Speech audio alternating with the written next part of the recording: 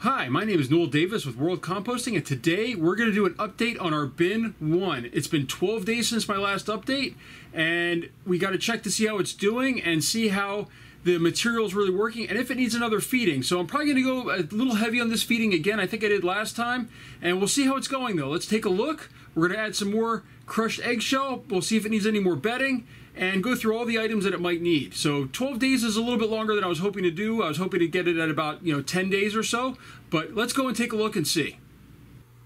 Okay, so here's our bin one.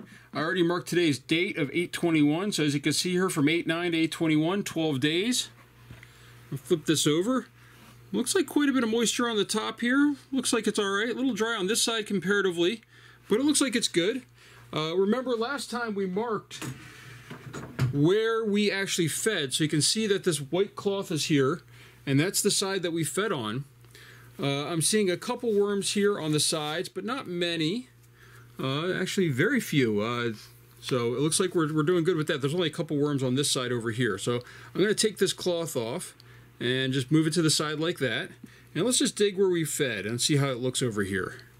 Oh, I'm actually still seeing a lot of food in here, and it looks like it might need some moisture. Looks like this is a little dried out, but plenty of food in here, so we're not going to be adding any food to this.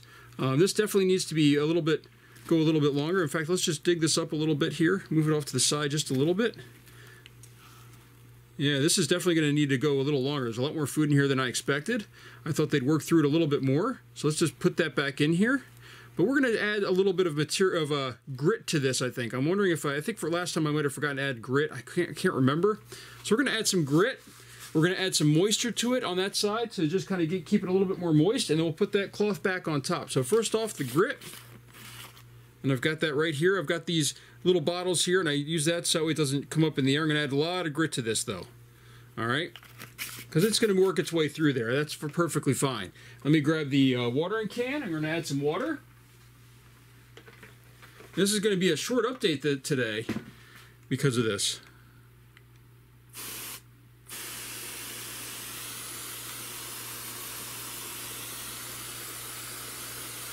So we need to water this down, get it nice and moist. We'll add a little bit of water throughout the entire bin here.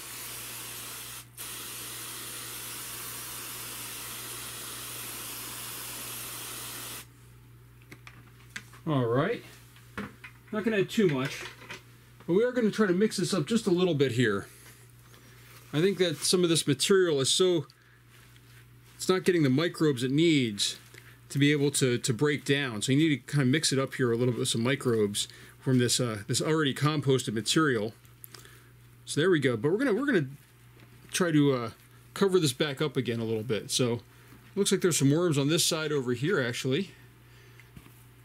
I'm actually hold on. Here's a worm with a cocoon right here. Look at this.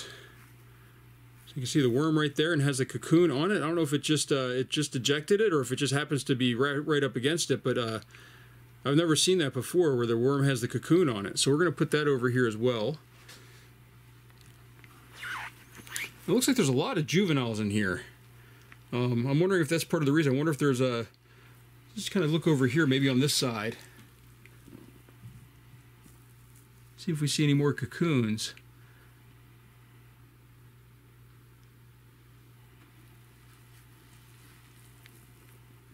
Some of this material looks kind of thick, almost like uh, almost muddy, which I usually try to, to prevent now in my, my bins by keeping them a little bit more uh, dry. But, by the way, this doesn't smell bad at all. There's no odor to this, at least not a bad odor. The odor actually almost smells like citrusy for some reason. I don't know why, but it has like a citrus odor to it, even though I don't think I've added citrus to this one. So overall, I'm not seeing any cocoons other than that one. See plenty of healthy worms here, though. You know, moving around. So here, I mean, here's one right here, nice and healthy.